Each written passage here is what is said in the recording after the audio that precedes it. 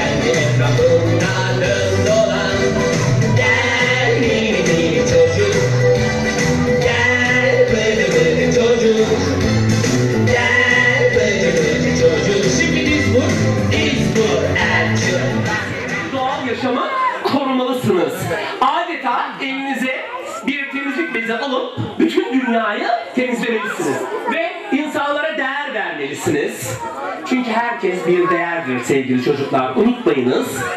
Hayvanları sevmeli, onları korumalısınız. Unutmayın ki bu dünyayı hayvanlarla paylaşıyoruz. Onlar da bizim gibi bir canlı ve sadece bu dünyanın sahibi biz değiliz. Hayvanlar da bu dünyanın sahibi.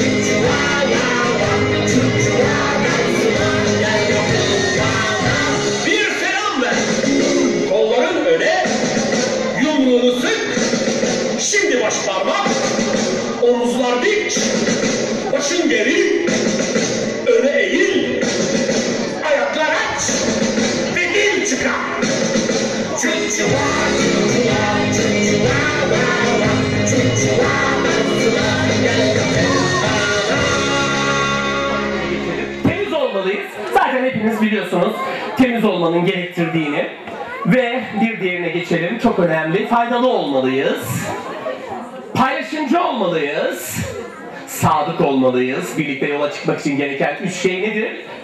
Yürek, güven ve sadakat. Bunu büyüklerimiz çok iyi bilir. Ve nezaketli olmalıyız. Özellikle. Oynasın bizimle Neşeyi neşeye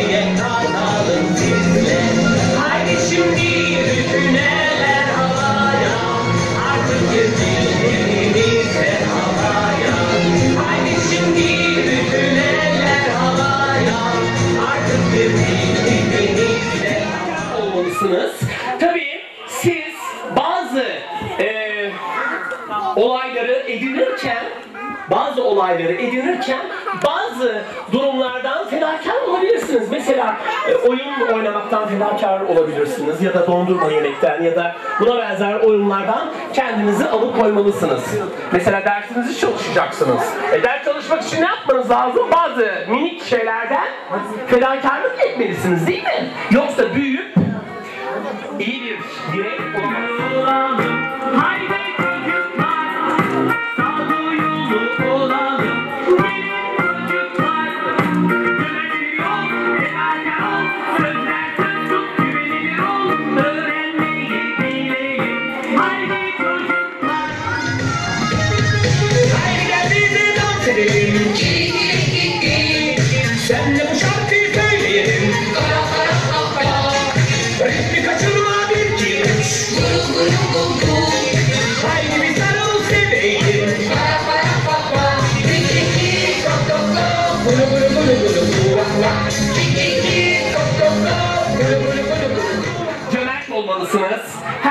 Paylaşmalısınız. Efendim çalışkan olmalıyız. Bu hikayeyi anlatmama gerek yok değil mi? Hani Ağustos böceği ile eee karıncanın masalını hepiniz biliyorsunuz. Onun gibi işte çok çalışkan olmalıyız.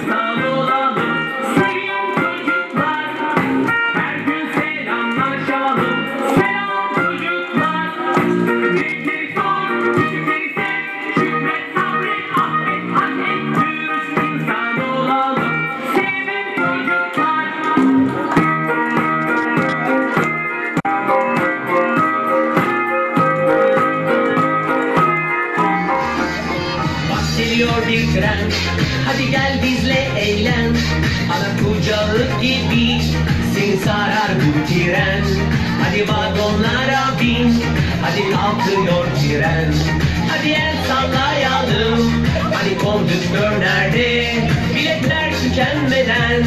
Hadi istasyona gel. Çubu çubu çubu çubu Çubu çubu çubu çubu Çubu çubu çubu çubu Çubu çubu Empati kurmalısınız. Empati kurmak ne demek? Kendinizi karşıdaki kişinin yerine koyup o şekilde düşünmelisiniz ve alçak gönüllü olmalısınız. Sevgili çocuklar alçak gönüllü olmak sahip olunan imkanlar, iyilik ve güzellikler karşısında gurura kapılmamaktır. Alçak gönüllü olmaya ne denir? Tevazu. Evet bunu benimseyip davranış haline getiren kimselere de mütevazı denir. Buyurun.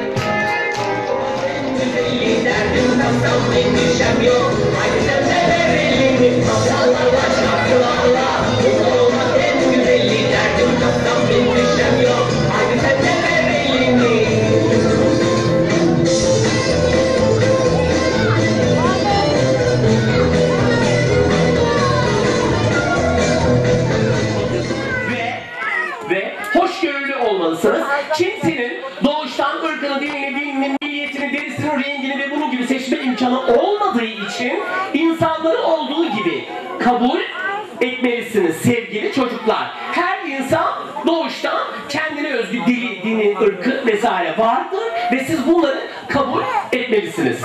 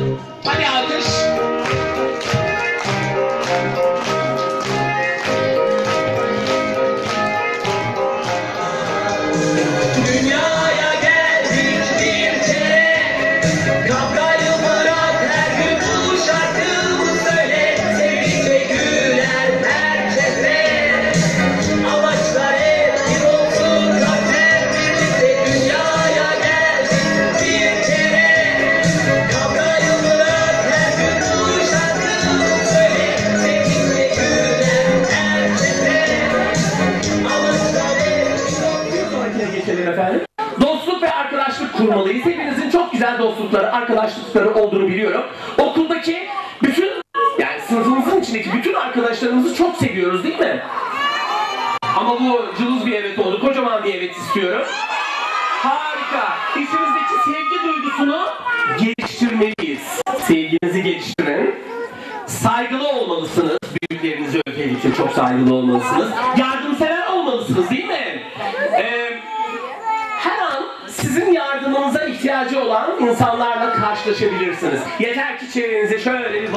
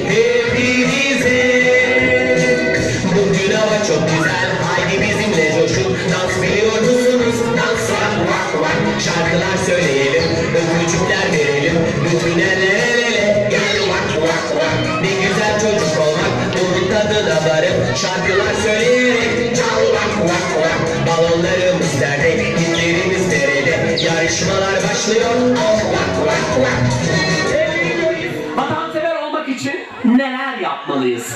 Türkiye, ülkemizi dünya haritası üzerinde göstermelisiniz. Peki ben size bir minik el ödevi verebilir miyim sevgili çocuklar?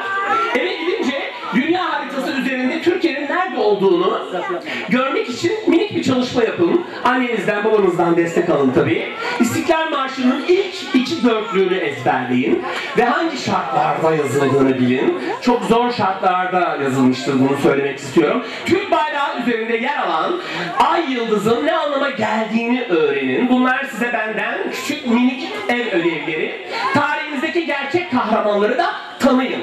Bunları eğer bilirseniz siz gerçek bir vatanseversiniz. Bir sonraki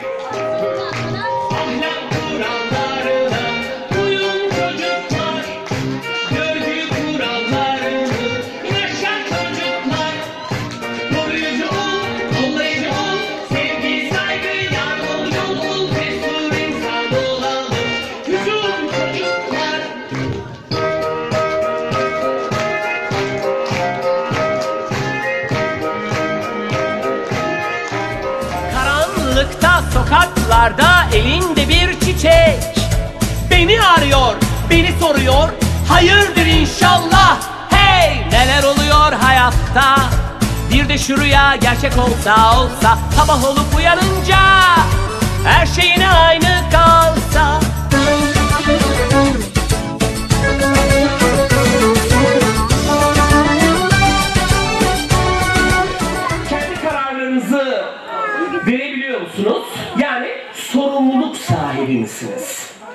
Hepiniz sorumluluk sahibi olduğunuzu biliyorum. Çünkü neyi ne zaman nerede yapacağınızı çok iyi biliyorsunuz. Mesela karar alırken elinizdeki kaynakları kullanabilmelisiniz. Aldığınız kararların sonuçlarını kabul edebilmelisiniz. Değer yargılarını gözetebilmeli, bağımsız davranabilmelisiniz sevgili çocuklar. Özgüven sahibi ve başkalarının haklarını çiğnemeden kendi ihtiyaçlarınızı karşılayabilmelisiniz. Mesela en azından evde pijamalarınızı toplayabilirsiniz değil mi uyandıktan sonra? Kimler yapıyor bunu? Oo, bütün parmaklar havada. Çok güzel o halde. Bir sonraki-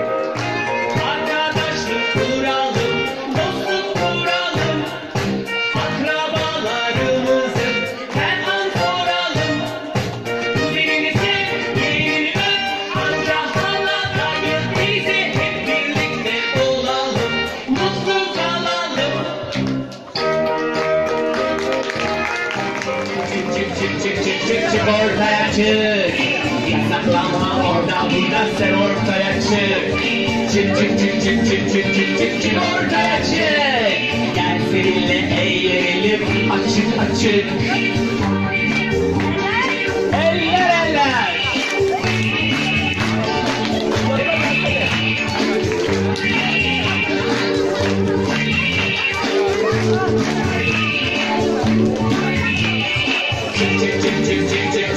çık çık çık ortaya çık Git saklanma orada burada sen ortaya çık olmalıyız. Dürüst müsünüz?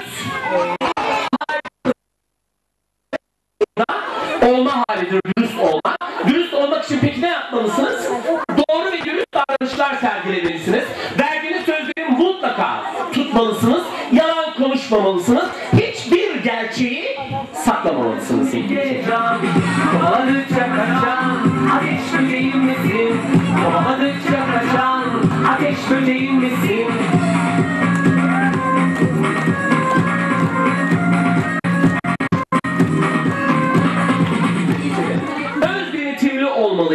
Çoğu çocuk öz denetimin ne olduğunu bilmeyebilir. Yeni bir kavram olabilir. Ee, bir dakika bir geriye gidelim lütfen. Bir geriye gidelim.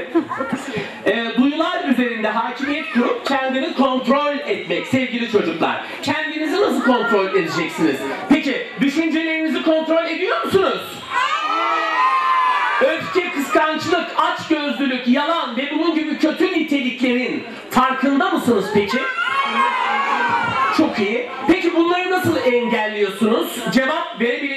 Var mıdır acaba? Mesela sen bunları nasıl engelliyorsun? Yalan söylemeyi nasıl engelliyorsun? E, bunu, bunun kötü huy olduğunu biliyorum diyor. Çok güzel. Peki sözlerinizi kontrol ediyor musunuz? İstediğiniz zaman konuşabiliyor, istediğiniz zaman konuşamıyor.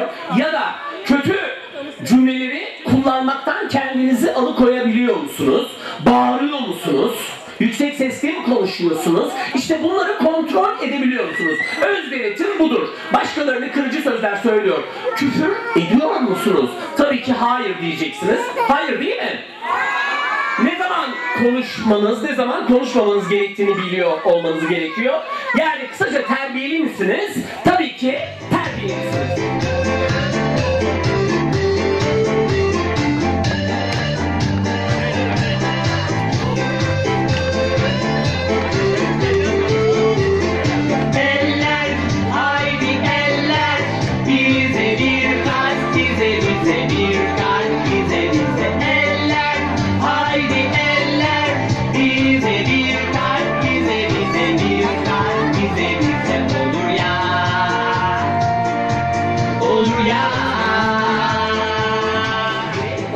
olamazsınız ve insanları olduğu gibi kabul etmelisiniz sevgili çocuklar. Hiç kimsenin fiziksel özellikleri, davranış şekilleri, kişilik yapısı, hayata bakış açısını değiştiremezsiniz. Eğer yanınızdaki sıra arkadaşınız eğer çok e, yaramaz bir çocuksa siz onun o yaramazlığını değiştiremezsiniz. Siz ancak ne yapabilirsiniz? Bunun kötü sonuçlarını ona hatırlatabilirsiniz. Ama onun bu özelliğini değiştiremezsiniz. Aynı zamanda insanları uzun kısa, şişman zayıf, esmer sarışın, kel ya da gür saçlı olarak eee, eleştiremezsiniz. Herkesin kendine göre bir şekli şemali vardır. Mesela ben bu şapkayı niçin takıyorum? Acaba bilen var mı? Hafif. Olabilir bak doğru söyledi. Hafif. Çünkü siz beni bununla yargılayamazsınız değil mi sevgili çocuklar? Ya da mesela ben çok şişman olabilirim. Beni bununla da yargılayamazsınız. Bazı arkadaşların sinirli ya da sakin olabilir. Ya da yardımsever bencil olabilir. Girişken utangaç olabilir. Güler yüzlü asık suratlı olabilir. Uyumlu uyumsuz olabilir, nazik veya kaba olabilir. Hiç kimseyi ne yapıyorsunuz? Eleştirmiyorsunuz bu özelliklerinden dolayı. Herkesi olduğu gibi kabul ediyorsunuz. Dünya buna inansa, bir inansa, hayat bayram olsa İnsanlar ellere tutuşsa, birlik olsa, uzansak sonsuza dünya buna inansa,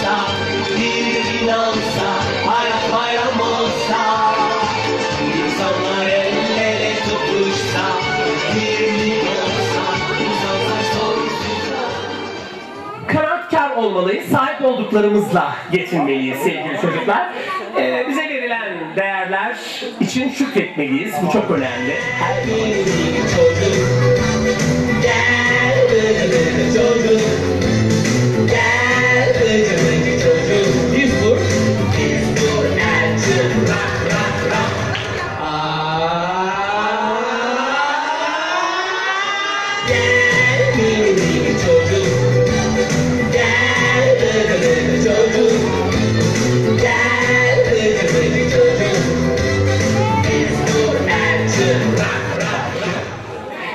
cesur olmalıyız. Okulda bu aralar aşı oluyor musunuz, olmuyor musunuz bilmiyorum ama aşı zamanı bazı çocuklar ağlıyor. Hayır, cesur olmalısınız. Ee, mücadeleci olmalısınız. Görüyorsunuz satranç kursuna giden bir öğrencinizin halini. Ve yiğit olmalısınız. Hiçbir şeyden korkmamalısınız sevgili çocuklar. Ve inançlı olmalısınız. Evet, çok güzel. İşte bunları lütfen benimseyiniz.